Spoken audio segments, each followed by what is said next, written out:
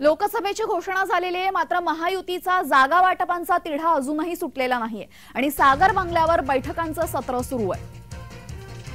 उपमुख्यमंत्री देवेंद्र फडणवीस यांच्या सागर बंगल्यावर बैठकांचं सत्र सुरू. देवेंद्र फडणवीस यांच्या भेटीला अनेक इच्छुकांची गर्दी होतीये.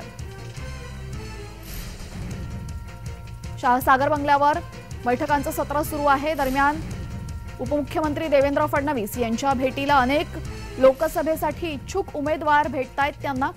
अजूनही महायुतीचं पूर्ण जागा वाटप झालेलं नाहीये. भाजपाने गेल्या यादीमध्ये वीस नावं जाहीर केलेली आहेत. महाराष्ट्रातली मात्र अजूनही शिवसेना आणि राष्ट्रवादीची नावं जाहीर झालेली नाहीत अनेक इच्छुक जे आहेत लोकसभेसाठी ते देवेंद्र फडणवीसांना सागर बंगल्यावर येऊन भेटतायत.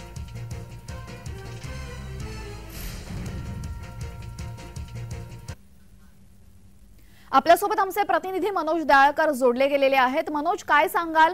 सागर बंगल्यावर बैठकांची सत्र सुरू आहेत. सर्व इच्छुक उमेदवार हे फडणवीसांना भेटण्याच्या तयारीत आहेत.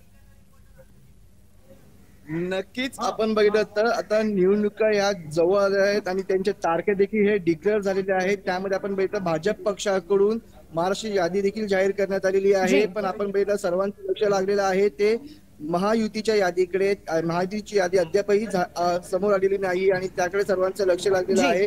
आणि आपण तर महायुतीच्या जागावरती अद्यापही तिढा सुरू आहे आणि हा- तिढा सोडवण्यासाठी आपण बघितलं तर दोन दिवसापासून देवेंद्र फडणवीस यांच्या बंगल्यावरती सर्व नेते हे येऊन भेटत आहेत. त्यांची भेटगाठ करत आहे आणि आपण तर सर्व या नेते संदर्भात अधिक देवेंद्र माहिती फडणवीस मनोज आपल्याकडून घेतच राहू. तुर्तास धन्यवाद आपण दिलेल्या माहितीबद्दल.